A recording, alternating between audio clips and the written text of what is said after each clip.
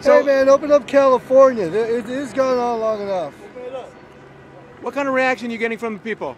Great. Uh, people seem to be having fun with these photos or these images. Is it something that uh, you'll be posting around the city? Uh, If someone will sponsor it? yeah. No, no, no. It's, it's not about that. Uh, I hope to. It's just I've only got two hands, Right. so uh, I do what I can. That's nice. If people want to see more of your work, where? Uh, unsavoryagents.com.